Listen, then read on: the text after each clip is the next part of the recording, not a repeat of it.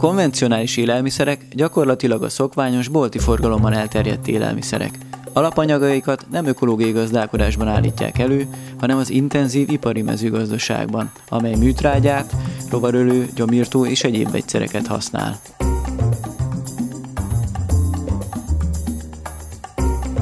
Ezek az élelmiszerek olcsóbbnak tűnhetnek, de a figyelmes vásárló hamar rájöhet, hogy árérték arány tekintetében elmaradnak a kézműves élelmiszerek mögött.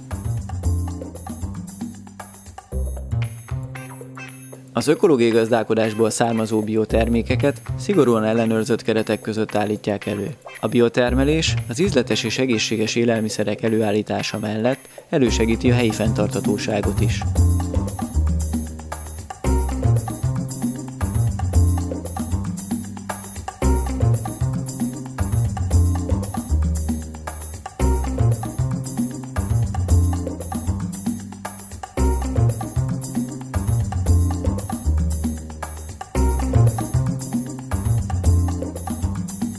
Terméktesztünkben 16 termék konvencionális, illetve biováltozatát hasonlítottuk össze.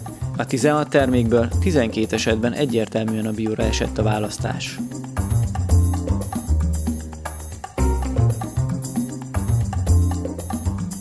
A tej és tejtermékek esetében sokkal többen szavaztak a bióra, mint a konvencionálisra. Hasonlóan nyert a kolbász és a békön szalonna is.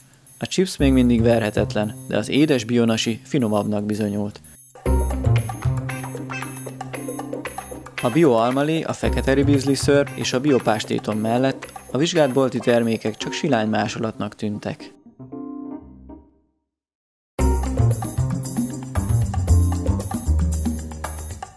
Az átlagot tekintve a bio alig 45%-kal volt drágább.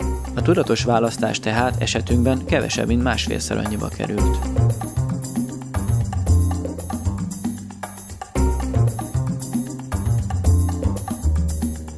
Mit kapunk a pénzünkért? Elég jó nekünk az olcsóbb, konvencionális élelmiszer akkor is, ha tudjuk, mi minden van benne.